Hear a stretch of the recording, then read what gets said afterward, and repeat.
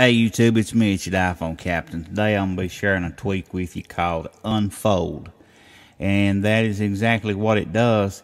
It adds a little bit of a customization, if you will, to your lock screen. It makes it look like the screen is folding up like a piece of paper or something. And the good thing about the tweak is it's free in BigBoss Repo. So I'd head on over there and check it out it adds a setting under your settings menu, but there's nothing there other than information about the developer and a link to donate to the developer through PayPal if you wish to do that. But it's called Unfold and you can get it free in the Big Boss repo. So head on over there and check it out. Don't forget to hit that subscribe button before you leave and keep coming back.